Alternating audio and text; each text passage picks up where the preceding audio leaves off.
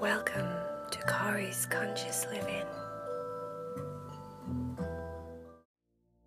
Hello, my little friend. Just a quick reminder if you want to be in the cat club, talk to your guardian or your parents and make sure that you go to the link down below to become a patron so that you get your first three exclusive Heidi Cherry and Vaya stories on the 7th of this month.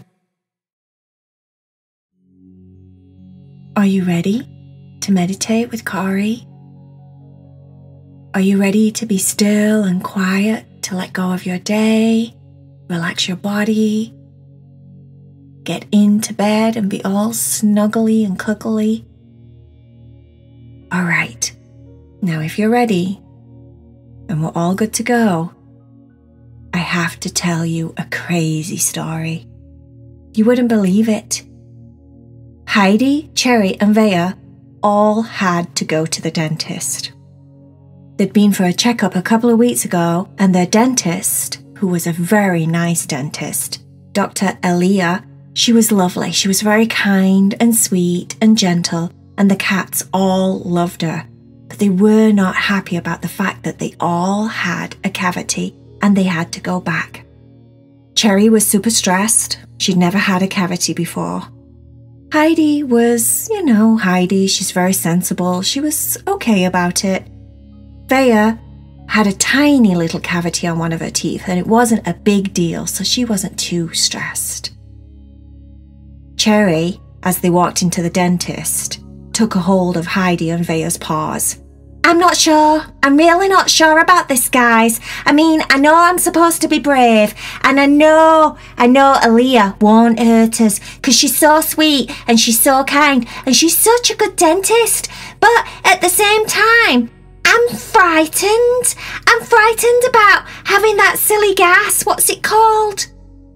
Last week, when they all went to the dentist for the checkup, Aelia explained to them that they would all have to have laughing gas Laughing gas would help them to calm down and get sleepy and comfortable, and it would also numb everything so that they could get their teeth done. I don't know about it. I don't know. I just don't know, said Cherry. Heidi said, It's called laughing gas. Cherry said, You know what? Actually, if that's what it's called, does that what it is that what it does? Is that what it does? Does it make you laugh? Like, do they call it laughing gas because it makes you laugh? Because you would think so, wouldn't you? And if it's called laughing gas because it makes you laugh and it makes you all chilled out and that, like like Dr. Aelia said, then then it shouldn't be so bad, should it? But I don't know why. I just have this feeling in my stomach. I'm so nervous about it. I don't know. I'm really glad it's not an eagle. I would not be going if we had to have an eagle because I'm, I don't think I'd like that very much, but I know that laughing gas is supposed to be nicer and more gentle and everything, but I'm still really, really nervous. What happens if I do something really, really silly while I'm I'm like under laughing gas's influences? You know, like uh, like people walk about when they're sleepwalking at night in their undies and they go to fridge and like make themselves eat weird stuff while they're asleep, you know, like zombie walking. what if I start zombie walking around the dentist office? oh no, what if like I wake up and I've got a pair of knickers on my head? Or like I put my socks on my tail instead of on my paws? Or like, uh, oh no, what if like somebody tricks me and I'm asleep? With me laughing gaffs, or I'm awake but I'm laughing and I think everything's funny, and they shave me eyebrows off or something like that. what if I wake up and I've got no eyebrows? Oh, Vaya, I'm really scared.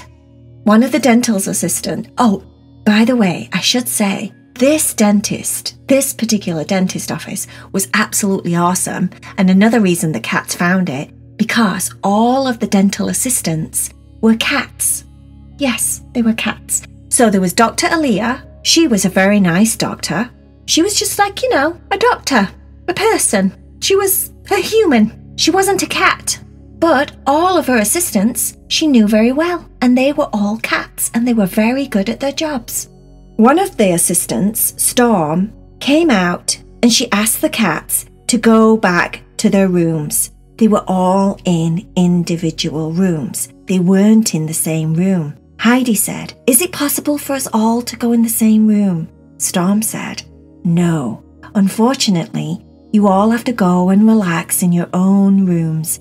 And then Dr. Aelia, the dentist, will come and see you all individually and she will get help from her assistants. But you have to be in your own rooms. I'm sorry. Heidi said, Okay. Are you all right with that, Cherry and Vaya? Both of the cats looked at each other. Vaya was totally fine with it. Cherry's eyes got really big. Eh, oh, all right then, if that's what we have to do, then that's what we have to do. But I would like to go first. Can I go first? Because I'm really nervous and I think I need that, that giggle gas to make me more chilled out and more relaxed. Heidi said, I'm okay with going last. Vaya can go second and I'll go last, and that's fine because I'm not nervous at all. And Vaya's only a little bit nervous. She's not really bothered. And Cherry is kind of freaking out. She might be climbing the walls if we make her go last. Storm, the assistant, said, No problem. I'll tell the dentist that she needs to go first. Okay. Storm walked each one of the cats into their room and then set them up with the televisions. They all had earphones so they could listen to the telly programs. Heidi laid back and started to relax. Wasn't the first time that she'd had a cavity, so she knew exactly what was going to happen. She just started to watch one of the programs on TV and chilled out. Vaya asked if they had a Disney channel on the TV so that she could watch princesses, which of course would make her feel more relaxed.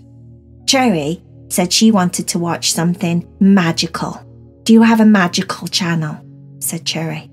Storm looked through all the channels and found a children's program that had like a, a wizard program on it. Cherry was okay with that. Storm left the three cats, and then in just a few minutes, the dentist, Dr. Aelia, came in to see Cherry. Cherry said, Oh, thank goodness I've been waiting absolutely ages. Ages. Well, just a few minutes, but it's felt like the longest time. I'm so nervous, so nervous.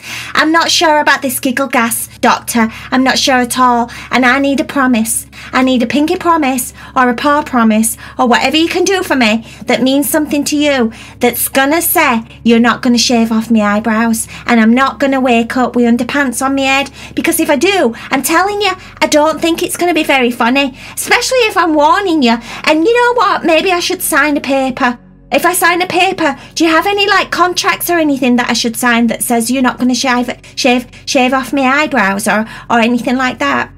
The dentist thought that this was very funny. She told Cherry, "Calm down. Everything's going to be okay." This made Cherry feel a lot better because like I said, Dr. Aelia was a very nice dentist and she was always very sweet and kind and gentle. She told Cherry exactly what she was going to do, what she was going to do first, and then next, and then next, and then next, so Cherry knew every step what was happening. When it came for her to put the mask over Cherry's face for the laughing gas, Cherry said one final, Don't shave off my eyebrows. And then she started to take deep breaths. It tasted like strawberries and it smelled really nice. She liked that. Deep breaths, Cherry said. Deep breaths, I'm taking deep breaths. Oh, this is so nice. I like. Oh, oh, oh, oh, oh, oh, you know. It didn't take very long at all before the laughing gas started to take effects on Cherry. It got funny. Cherry said, Oh, oh, you know, ah, and she was looking over the dentist's head as if she could see something very clearly, but obviously it was something in her imagination because there was nothing over the dentist's head. Dr. Aelia got to work on the cavity. She figured she was definitely prime and ready to start doing the work.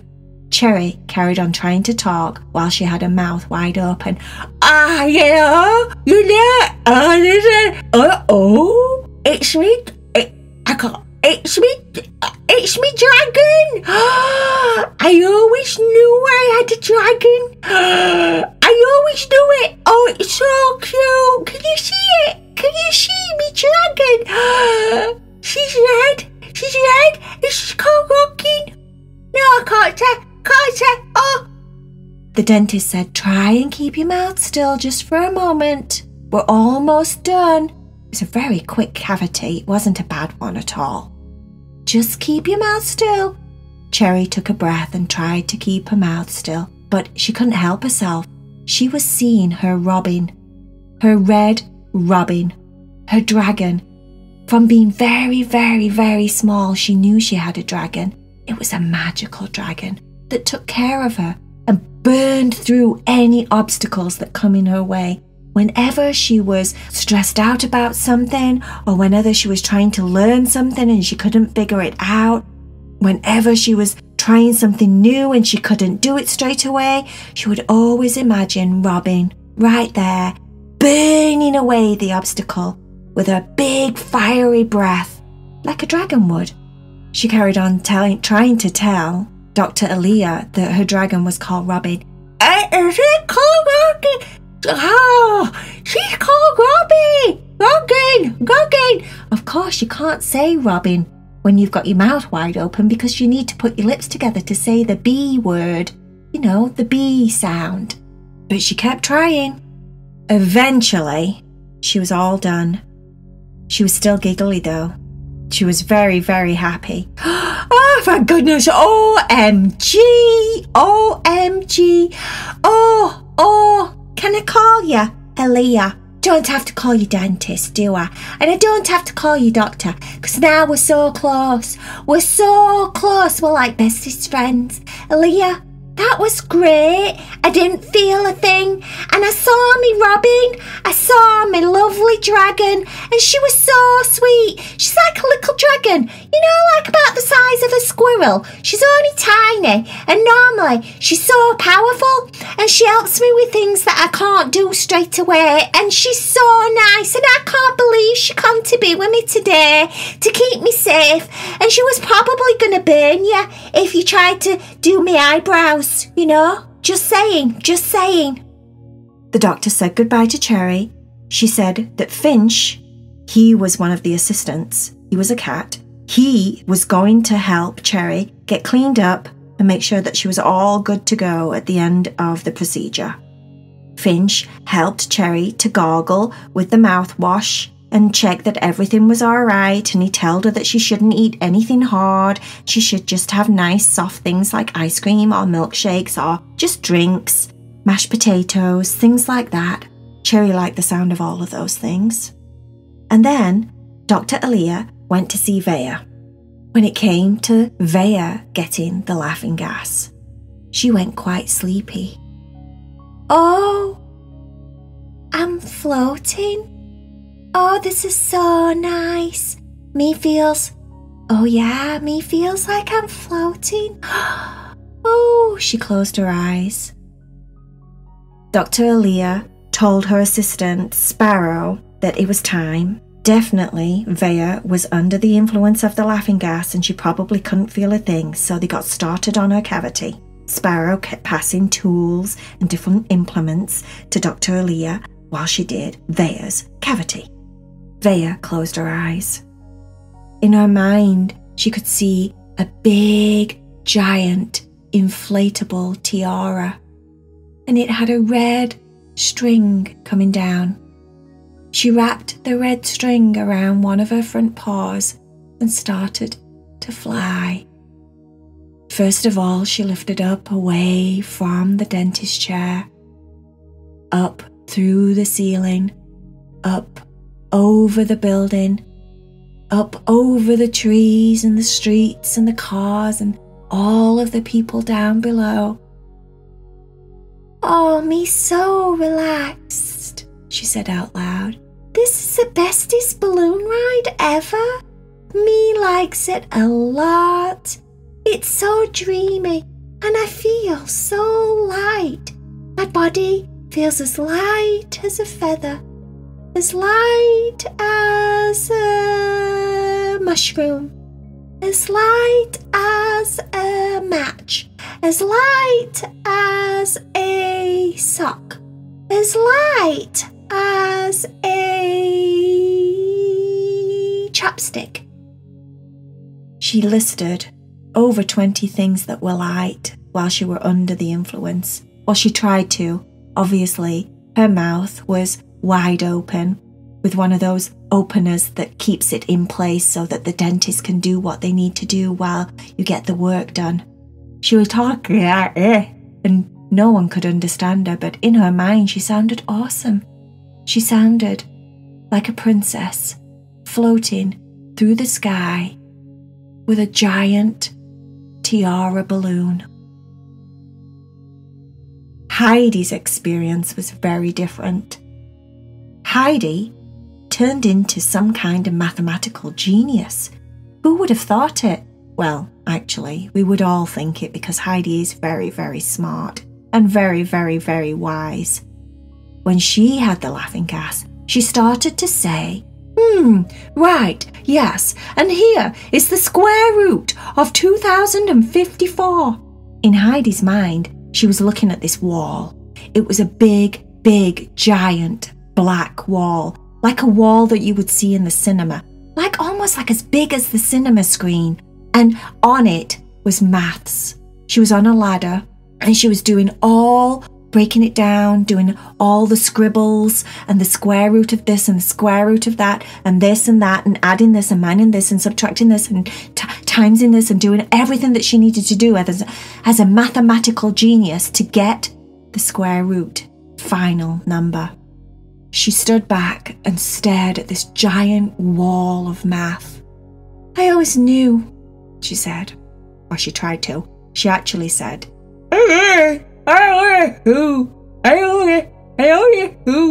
that's what the dentist heard, and her assistant that was helping her at the time was called Flicker, and Flicker tried not to giggle, but it was very funny. But in Heidi's mind, she was so smart. She was like Einstein, and it all was just channeling out of her. All these different numbers and sequences and mathematical breakthroughs in science, and it was just that was Heidi. Heidi was like Einstein. When she came around and the effects of the laughing gas started to wear off, she told Dr. Aelia, the dentist, that she was going to start to call herself Einstein. She was so smart. Everyone laughed and thought that was very funny, but Heidi was very serious. When the cats all got in the car to go home, they talked about everything that they'd remembered from their experience. Cherry and her crazy, crazy dragon experience with, you know, Robin, her little red dragon. Vaya, how she was floating through the sky, floating around the world with her giant tiara balloon. And then Heidi told the cats, her sisters, how smart she really was, and that, if it was okay with them, sometimes she'd like to be called Einstein. She told him all about the scientific breakthroughs that she found, the mathematical genius stuff that she did. She told him everything. Of course, Cherry and Vaya weren't surprised. They knew how smart their sister was. But who'd have thunk it? Who'd have thunk that having laughing gas would expose that? When they got home, the cats were very, very tired. They talked about how much they loved their dentist, Dr. Aelia, and the assistants, Finch and Sparrow and Flicker and Storm, and how they all do such a good job and make everyone feel so welcome and relaxed and cozy and comfortable, and most importantly, safe. They feel safe with her because she's so kind and sweet and loving and gentle. Just how a dentist should be. Right? The